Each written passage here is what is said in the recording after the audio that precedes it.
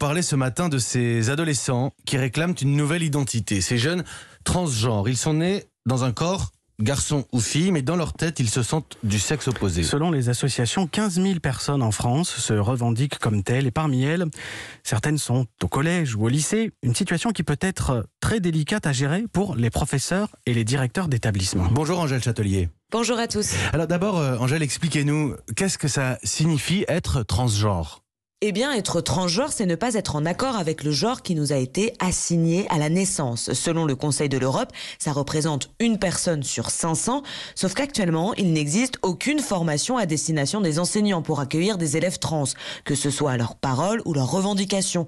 Comment réagir quand ils souhaitent qu'on les appelle par le prénom qu'ils ont choisi, par exemple, ou bien quand ils demandent des toilettes mixtes. J'ai pu rencontrer Marion, 16 ans, au jean pas de def et au maquillage rose sur les yeux.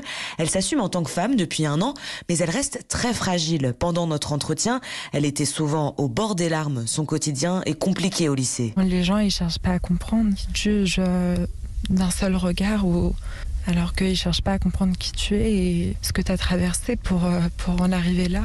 Je pense qu'il faudrait réaménager euh, certaines choses pour euh, faire sentir mieux les élèves. Le genre du, mauvais genre, je ne le vis pas forcément très bien, mais vu que c'est assez récent que j'ai vraiment pu euh, mettre des mots sur tout ça, il faut aussi que moi je fasse la part du chemin et pour que les autres fassent de même. J'ai encore des moqueries, j'ai encore tout ça, mais maintenant je sais qui je suis. Et c'est le plus important. Et si Marion se sent mieux aujourd'hui, c'est grâce à une enseignante qui a perçu son mal-être, qui l'a écouté et qui l'a soutenu. Alors justement, ce témoignage bouleversant à votre micro, Angèle, on se souvient, en décembre dernier, l'émotion à Lille, une lycéenne transgenre avait mis fin à ses jours. Certains avaient pointé du doigt justement un manque d'écoute de l'équipe pédagogique. Est-ce que l'éducation nationale a conscience du problème aujourd'hui?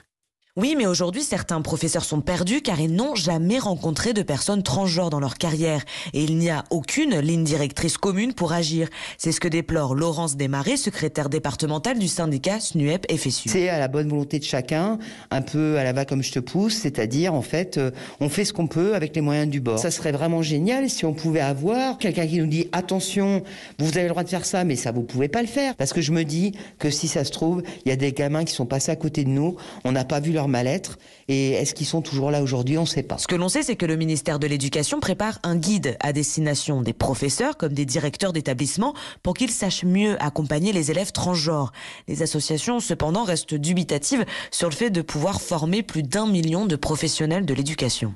Dossier signé Angèle Châtelier.